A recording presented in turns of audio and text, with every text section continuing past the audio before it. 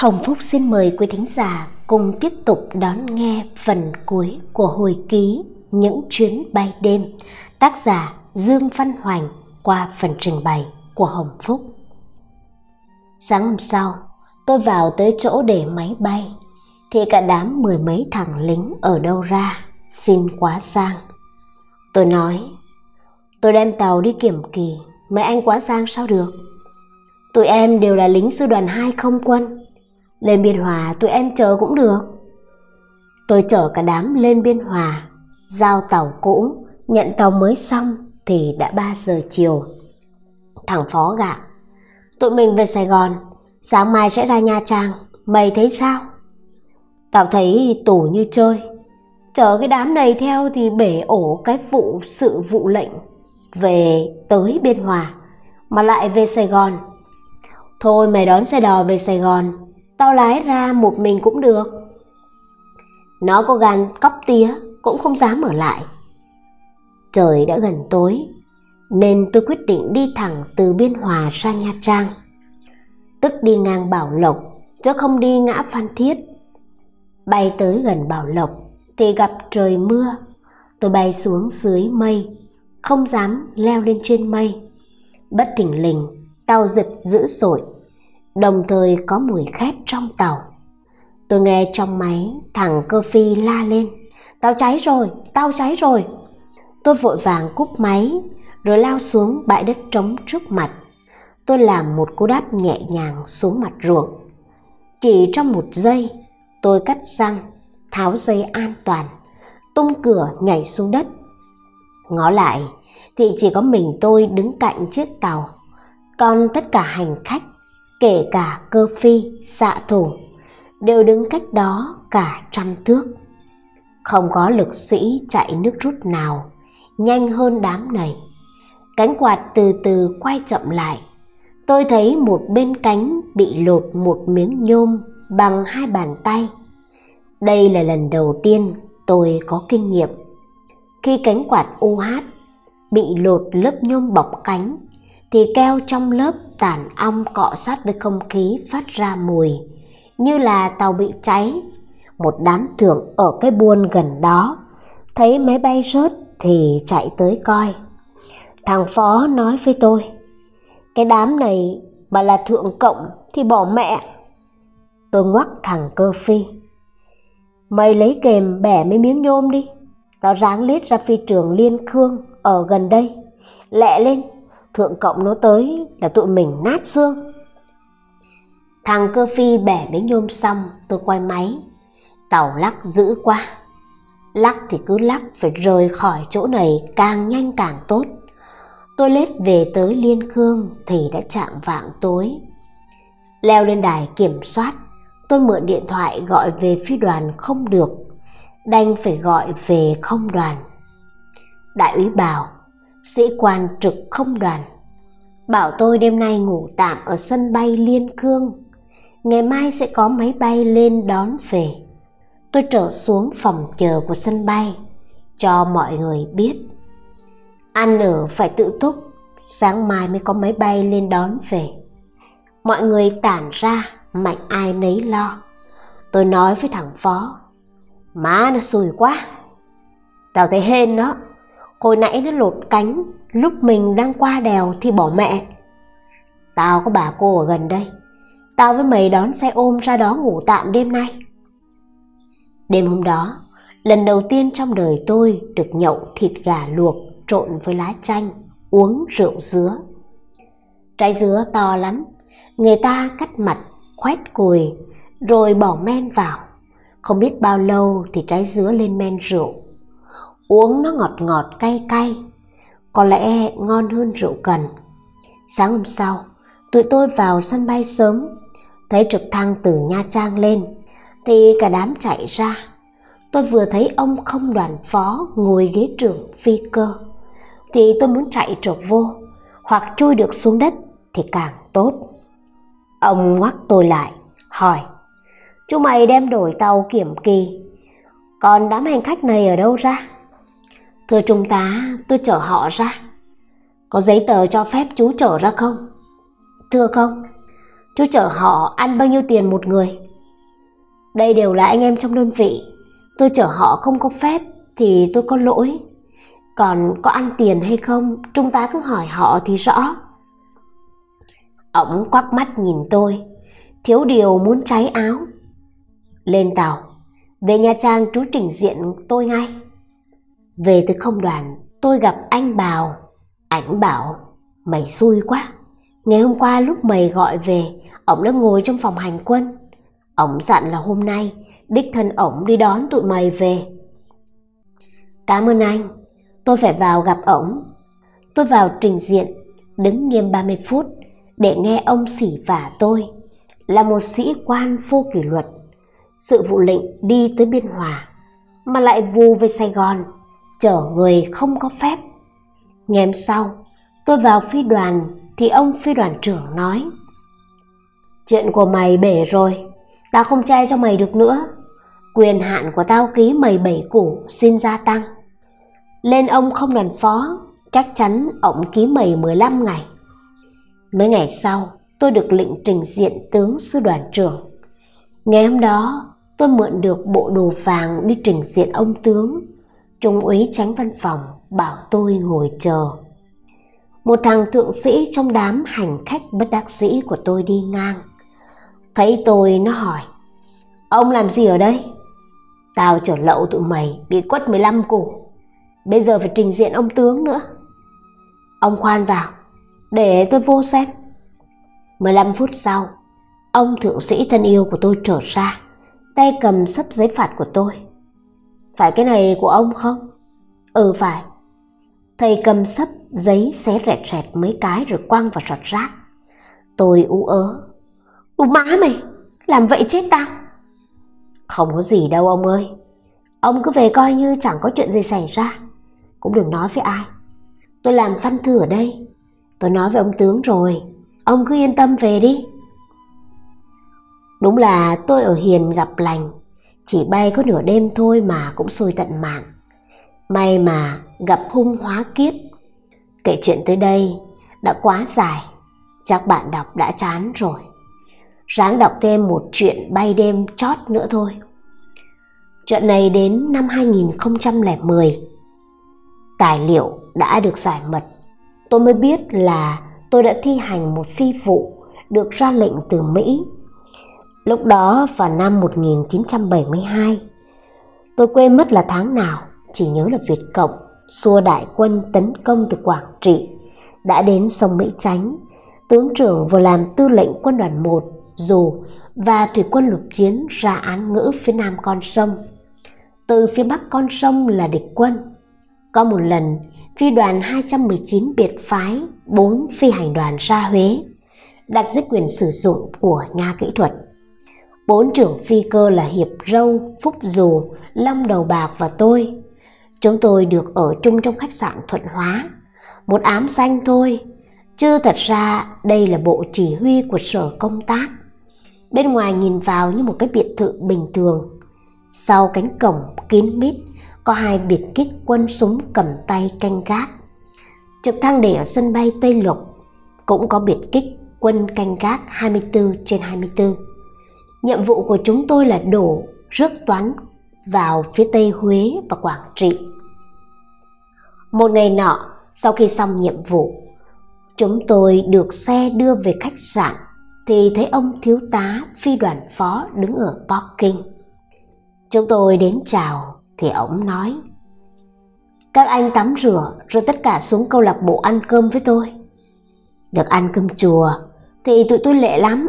Cơm nước xong, ông nói Các anh có thể về nghỉ, riêng bốn trưởng phi cơ ở lại tôi có chuyện muốn nói. Chỉ còn lại bốn thằng tụi tôi và ông phi đoàn phó, câu lạc bộ tương đối vắng. Ông phi đoàn phó chọn một cái bàn trong góc Hiệp râu tính kêu mấy chai bia. Ông nói, khoan đã, các anh nghe tôi nói rồi uống bia cũng được. Ông tàng hắng mấy tiếng, hình như có cái gì nghẹn nghẹn trong cổ của ông. Phi đoàn nhận một phi vụ khó, tôi muốn nói với các anh trước khi chúng ta vào họp với Bộ Chỉ huy Sở Công tác, đại diện của Đại tá Giám đốc Nhà Kỹ thuật và đại diện của Tổng Tham mưu. Ông ngừng lại mấy giây. Tụi tôi thấy rõ là chuyện khó rồi đây. Một công tác có dính tới nha và tổng thì sao mà dễ được. Ông phi đoàn phó nói tiếp. Chúng ta phải có hai chiếc đi ra Quảng Trị vào ban đêm. Địa điểm chính xác là nghĩa địa của thành phố Quảng Trị. Đường bay các anh sẽ bàn bạc với sở công tác và đại diện của phòng 2 quân đoàn 1 trong cuộc họp chút nữa đây. Bây giờ tôi yêu cầu các anh trong bốn phi hành đoàn chọn ra cho tôi hai để thi hành phi vụ. Anh Phúc nói, Thưa thiếu tá, tôi trước đây ở nhảy dù mấy năm. Nếu bị bán rớt, tôi có nhiều cơ hội trở về hơn các anh em ở đây. Nên tôi xin tình nguyện lái một chiếc. Hiệp Râu nói, tôi trước đây ở bộ binh, nên tôi cũng tình nguyện lái một chiếc. Ông phi đoàn phó hỏi, còn các anh tính sao? Long đầu bạc nói, tôi và thằng Hoành tình nguyện làm phó cho Phúc và Hiệp. Tôi có lời khen các anh, trước phi vụ nguy hiểm tất cả sẵn sàng tình nguyện. Cơ phi xạ thủ, để tôi lo. Bây giờ chúng ta sang họp với bên sở, nha và tổng tham mưu. Buổi họp kéo dài gần 2 giờ đồng hồ. Tóm lại là từ sông Mỹ Chánh trở ra tới mục tiêu, không có quân bạn. Nhìn lên tấm bản đồ quân đoàn 1, từ sông Mỹ Chánh trở ra đỏ rực những vị trí đóng quân của Việt Cộng. Nếu bị bắn rớt, phải tự động tìm đường về, chứ không có tổ chức giải cứu. Một chiếc tàu chở hai người mặc quân phục quân chính quy Bắc Việt. Đúng ra là Việt Cộng hồi tránh sau khi học qua các lớp chiến tranh chính trị, họ tình nguyện làm việc cho chúng ta. Hai người này được trang bị súng AK bá xếp có lắp đạn. Đây là điểm tranh cãi. Chúng tôi suốt đường bay sẽ gặp hỏa lực địch liên tục. Chúng tôi rất bận rộn, không có thì giờ canh chừng hai người này. Súng AK lắp sẵn đạn, nếu họ muốn khống chế chúng tôi thì thật quá dễ dàng. Ông phi đoàn phó đề nghị băng đạn phải được tháo ra. Phía Nga cho biết họ cũng đã có thắc mắc như vậy với Tổng Tham mưu. Nhưng đây là lệnh, chi tiết này không được thay đổi. Quả thật nghĩ đến chuyện ngồi bay với hai họng súng AK ở sau lưng, thấy nhột quá. Vào vùng rồi, mấy cây súng AK đang nổ chung quanh, làm tôi quên mất hai cây ở ngay sau lưng. Chiếc thứ hai chở máy dò, có người của Tổng Tham mưu đi theo phụ trách thả máy. Người của Tổng Tham mưu có máy liên lạc riêng với một chiếc C-47 bay phía nam sông Mỹ Chánh. Còn đường bay thì không nhớ ai đề nghị bay từ biển vào. Phòng 2 quân đoàn 1 cho biết, quân Bắc Việt phòng thủ bờ biển rất kỹ vì sợ thủy quân lục chiến đổ bộ từ bờ biển vào.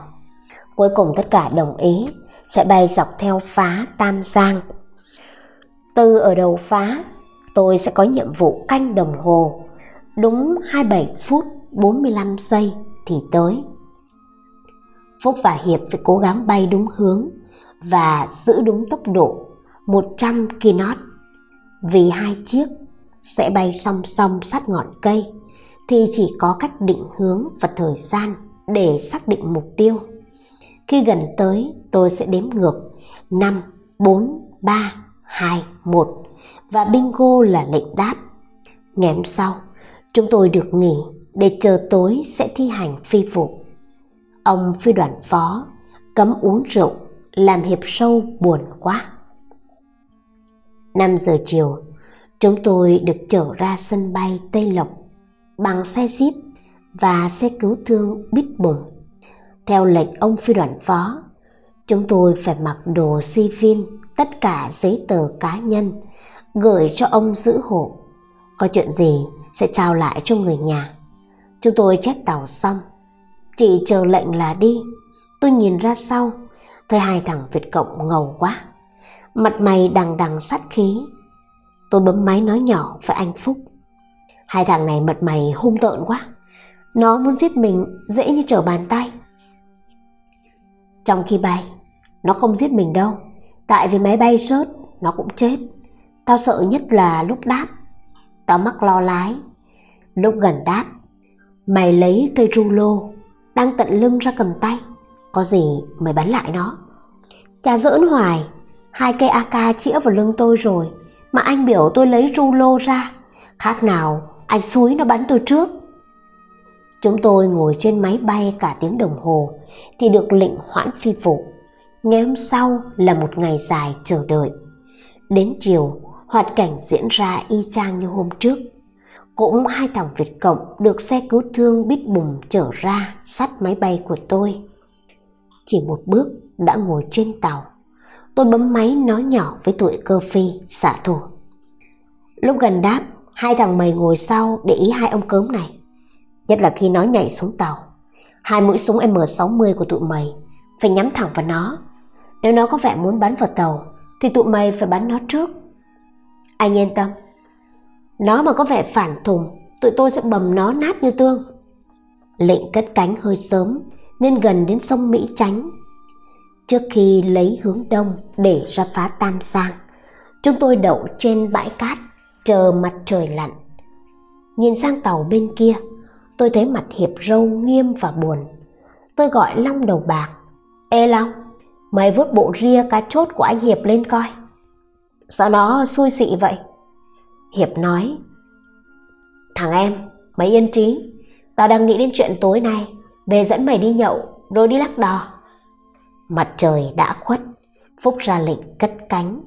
Chúng tôi lấy hướng đông, rồi cặp theo phá Tam Giang về hướng bắc. Đến nơi, tôi bắt đầu tính giờ bay. Hiệp bay lên song song với Phúc phía bên trái. Trời đã tối, rời điểm chưa được 3 phút, Việt Cộng bắt đầu chào đón bằng những loạt AK bắn vớt đuôi. Càng lên phía bắc, tụi nó bắn càng dữ dội. Thỉnh thoảng một vài tiếng bụp bụp lúc đạn trúng tàu. Tôi vừa canh đồng hồ, vừa kiểm soát phi vụ, vừa nhắc anh Phúc hướng bay và tốc độ. Còn 5 phút tới mục tiêu, tôi nói.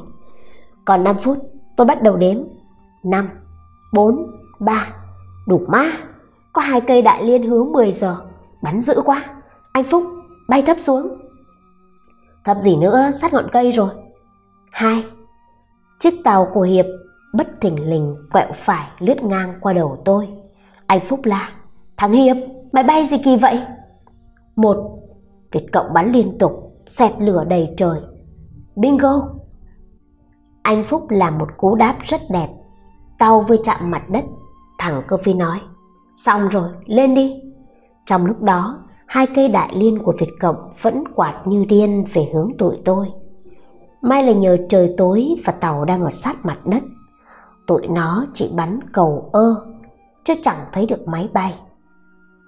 Anh Phúc cất cánh quẹo phải, bay sát ngọn cây rồi lấy hướng về Huế. Anh Phúc gọi, số 2, mày đâu rồi? Tao đang trên đường về, tao có trúng đạn nhưng vẫn còn an toàn. Trong lúc họp quy định là bay song song, khi có chuyện mày quẹo trái, còn tao quẹo phải để tránh đụng nhau. Sao lúc nãy mày quẹo phải, chút xíu nữa là đụng tao rồi. Tao nhớ, nhưng lúc nãy nếu tao quẹo trái thì đút đầu vô hai cây đại liên. Tao nghe thằng Hoành hô, hai. Tức là mày gần đến mục tiêu. Trong khi tàu của tao đã thả hết máy rồi, tao quẹo phải để dọn bãi cho mày dễ đáp. Trời quá tối, tao không thấy tàu của mày. Trên đường về, tụi tôi vẫn tiếp tục bị bắn. Anh Phúc nói, tụi Bắc Việt chắc nó kéo hết vô đây rồi hay sao, mà đi đâu tụi nó cũng bắn mình hết vậy. Rồi thì tụi tôi cũng qua sông Mỹ Chánh an toàn. Đêm đó, tụi tôi được sở công tác đãi trong một bữa nhậu linh đình. Vài tuần sau, hai phi hành đoàn được gọi về Sài Gòn gắn huy chương. Buổi lễ gắn huy chương không sống ai, không diễn ra ở sân cờ hay trại lính nào mà ở khách sạn Lê Lai, phòng Washington. Buổi lễ rất trang nghiêm, tất cả Mỹ Việt đều mặc thường phục, nhân viên nhà hàng bị cấm vào, không ai được xưng danh, không được nói đến đơn vị và việc làm. Ông đại tá giám đốc nhà kỹ thuật chỉ tuyên bố ngắn gọn, chúng tôi là những sĩ quan làm tốt công tác được giao Hôm đó, tôi thấy nhận huy chương là chuyện nhỏ. Chuyện lớn là có một bàn đầy rượu ngon, ai muốn uống bao nhiêu cũng được. Sau này, khi giấy tờ về tới phi đoàn, thì huy chương của tôi trong giấy ghi lộn số quân. Không biết con mèo muôn nào đã đánh lộn số quân của tôi. Thế là công cốc thằng Văn Thư bảo tôi làm đơn khiếu nại. Tôi nói, thôi bỏ đi mày ơi, của đi thay người, hơn nữa huy chương này từ một chuyến bay đêm, xui bảo mẹ.